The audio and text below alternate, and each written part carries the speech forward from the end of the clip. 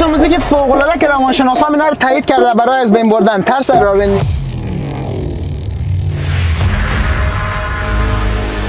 راه ترس در رانندگی داری ترس در رانندگی فقط یک ذهنیت هسته از کجا میاد ذهنیت؟ از روزمرگی های خسته و آشفته.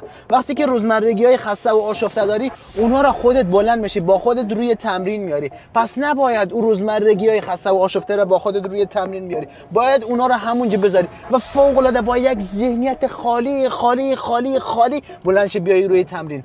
کاری که این ویدیو برات می‌کنه هم کار برات ایجاد می‌کنه خب؟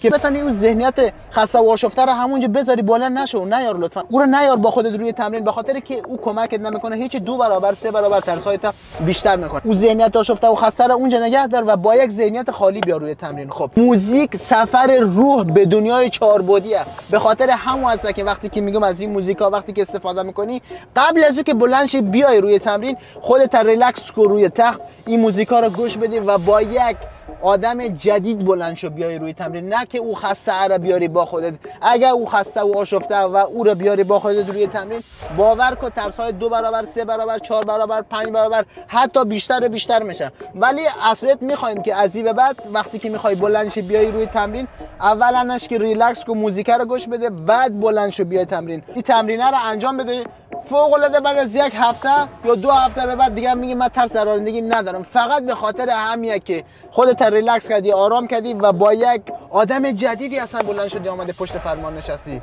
این تمرین اجرا کن و خبرش برای من بده. برید موزیکا رو گوش کنید. هر روز قبل از اینکه تمرین ها رو می‌خواید انجام بدید موزیکا رو حتما حتما گوش کنید. ریلکس کنید چشمایتون رو ببندید و ببرید ذهن در دنیای چهاربعدی روح در دنیای چهاربعدی